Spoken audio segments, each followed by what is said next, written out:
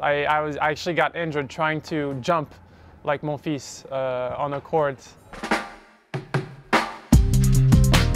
That was when I was 14, yeah, 10 years ago, uh, on a drop shot, and I got severely, that was my biggest injury actually. so looking back, it's funny, but at the moment it was, wasn't.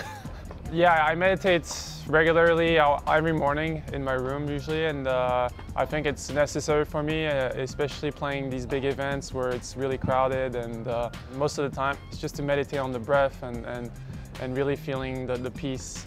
Strongest lie is, is is a pre-match interview saying that that's going to be a tough match.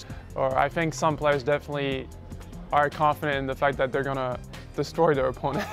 and they still say in interviews that it's going to be a tough match. Could be a lie that we do uh, as players sometimes uh, to appear like more humble, I guess, yes.